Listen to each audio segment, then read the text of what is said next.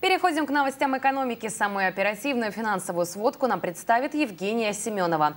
Здравствуйте, Женя. Надеюсь, у вас сегодня только хорошие новости? Добрый вечер, Аглая. Поклонников рыбных блюд я сегодня, пожалуй, огорчу. Поставки рыбы в Россию таковы, что мы рискуем оказаться без заграничной продукции. Все подробности прямо сейчас.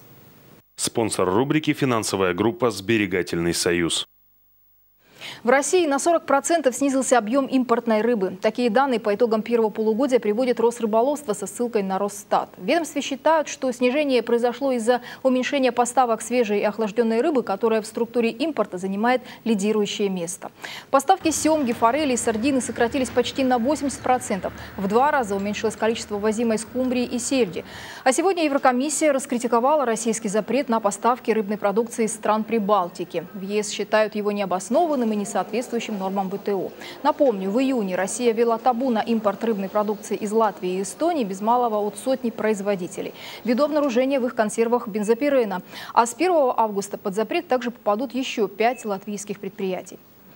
Хорошая новость для наших отечественных производителей. Минсельхоз предложил радикальную меру борьбы с европейским товаром из санкционного списка, а именно сжигание в печах прямо на границе, сообщает коммерсант. Необходимой инфраструктуры на российских таможенных постах пока нет, но чиновники уверены, она и не понадобится.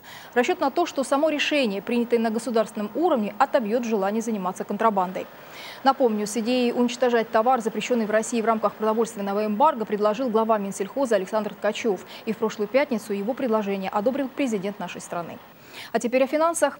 Центробанк остановил покупку валюты на внутреннем рынке. Причина – колебания цен на доллар и евро. Вчера рубль упал до уровня марта, но сегодня вслед за решением Центробанка начал укреплять свои позиции. Курс доллара на завтра, установленный Банком России, уже 59 рублей 77 копеек, а евро – 65 рублей 99 копеек.